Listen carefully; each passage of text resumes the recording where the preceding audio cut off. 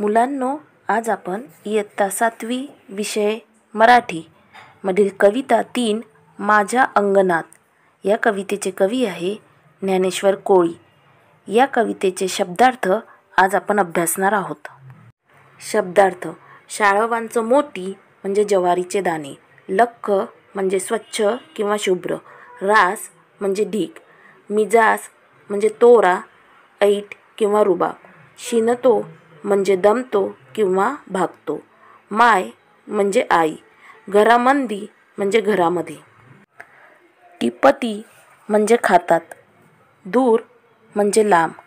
आसू म्हणजे अश्रू. आता आपण बघूया वाक्प्रचार व त्याचा अर्थ. गुण्या गोविंदाने खाणे म्हणजे एकत्र बसून सहमतीने किंवा प्रेमाने जेवणे. Thanks for watching video